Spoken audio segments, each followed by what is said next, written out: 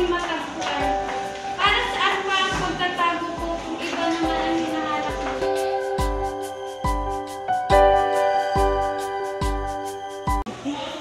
Let us witness the spoken poetry based on our subject, literature. Give here a round of applause.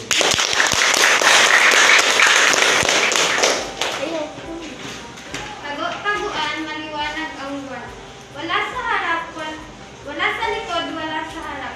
Magbilang ka ng tatlo at magtatago na ako. Isa, dalawa, tatlo. Magtatago pa ba ako? Nung nasa harapan mo na ako, hindi mo pa rin ako nakita. Paano pa kaya kung magtatago pa ako? Walang saysay ang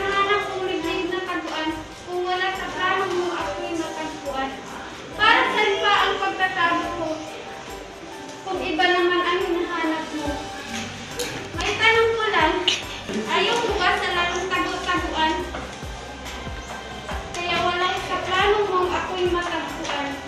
Para saan pa ang pagtatago ko kung iba naman ang hinahanap mo? Naglaro na rin tayo ng tumbang preso at doon pa lang talo na ako. Dahil ako ang naging ako ang naging silbing lata at ikaw naman ang sibilas na naging sanhi ng pag start.